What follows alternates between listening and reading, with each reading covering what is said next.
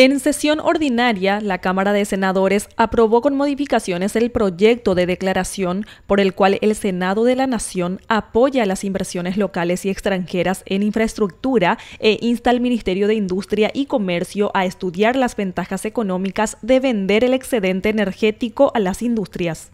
Es un proyecto de declaración para dar un mensaje de seguridad jurídica condenar claramente el tema de las criptominerías ilegales.